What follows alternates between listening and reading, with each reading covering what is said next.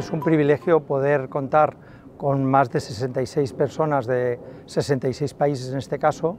que piensan sobre cómo se puede mejorar y especializar la experiencia del voluntariado en sus distintos países. Para nosotros eso es fundamental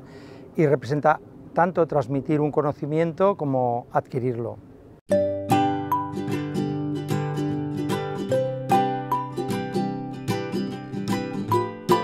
Yo creo que en, el momento que, que, vivimos la inclusión y la diversidad son los factores que pueden cambiar el mundo, que pueden cambiar la forma de ver la sociedad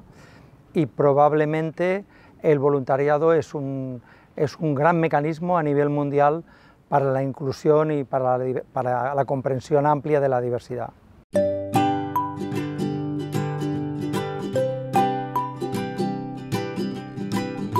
Yo creo que la necesidad más importante que puede atender el voluntariado, la primera es ser el radar de la vulnerabilidad, es el saber qué está ocurriendo en cada, en cada población y el tener una reacción a esas necesidades, una primera reacción y una primera respuesta a esas necesidades. Eso es tremendamente importante porque es lo que después encadena respuestas más especializadas o integrales y eso es lo que de alguna forma genera voluntariado, una presión eh, en nosotros mismos para mm, tomar decisiones y dar respuesta a las nuevas necesidades.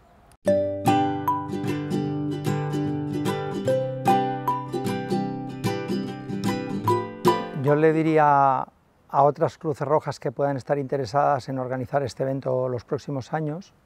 que este evento en sí mismo genera un nivel de conocimiento y una mejora exponencial en el trabajo del voluntariado en el país que lo organiza. En nuestro caso, eso ha sido así, empuja a innovar, a investigar, para poder dar las mejores herramientas cuando se celebra el ULP.